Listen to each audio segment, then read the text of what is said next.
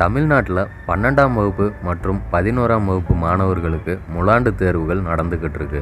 இந்த நிலையில் புதிய படங்களை வெளியிட்டால் அந்த புது படங்களுக்கு எப்படி வரவேற்பு கிடைக்கும் அப்படிங்கிறதே தெரியல.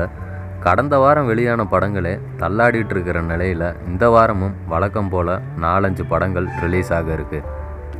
அசுரகுரு எனக்கு ஒன்று தெரிஞ்சாகணும் கயிறு வால்டர் ஆகிய படங்கள் தான் மார்ச் பதிமூணாம் தேதி வெளியாவதாக இருந்துச்சு.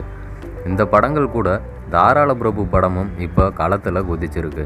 நேற்று வரைக்கும் மார்ச் வெளியீடு அப்படின்னு சொல்லிட்டு இருந்தவங்க இன்னைக்கு திடீர்னு படத்துடைய அறிவிப்பை வெளியிட்டிருக்காங்க. இந்த வாரம் வெளியாகிற படங்கள் அனைத்துமே முன்னணி ஹீரோக்கள் நடிக்காத படங்கள் தான். விக்ரம் பிரபு மட்டுமே முன்னணி ஹீரோ. சிபிராஜ் ஹரிஷ் கல்யாண் என வளரும் ஹீரோக்களின் படங்கள் தான் வெளியாக உள்ளது. கடந்த மாதம் வெளிவந்த ஓமை கடவுளே நான் சிரித்தால் கண்ணும் கண்ணும் கொள்ளையடித்தால் ஆகிய வளரும் ஹீரோக்களின் படங்கள் வெற்றி பெற்று ஆச்சரியத்தை ஏற்படுத்துச்சு. அதே போல் இவங்களுடைய படங்களும் வெற்றி பெறுமா அப்படிங்கிறத ரெண்டு நாட்கள் பொறுத்திருந்து தான் பார்க்க வேண்டும்.